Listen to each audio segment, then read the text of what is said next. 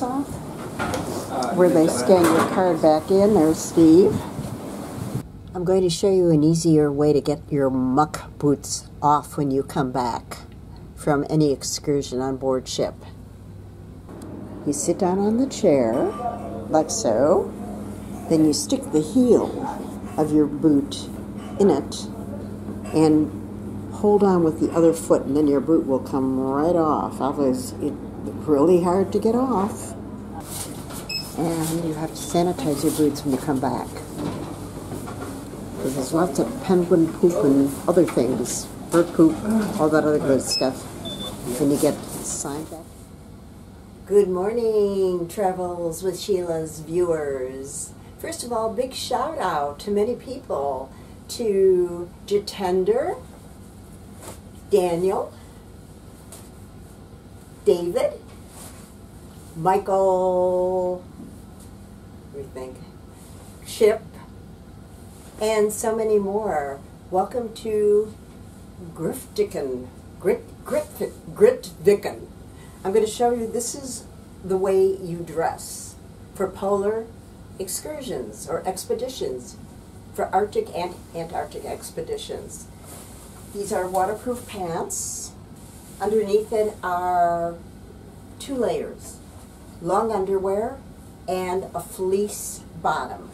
Wool socks under the waterproof jacket, two more layers, a fleece top and a long underwear top under that.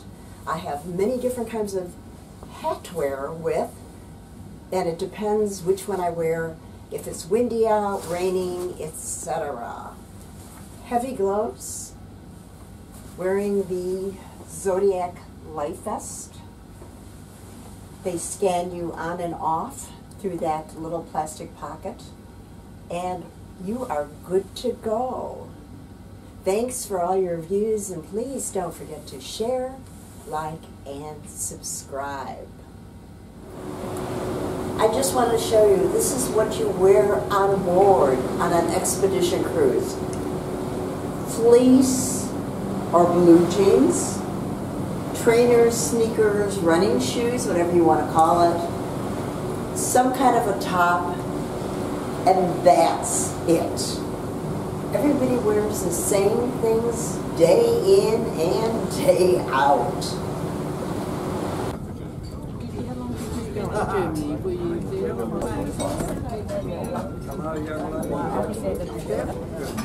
Stand up first.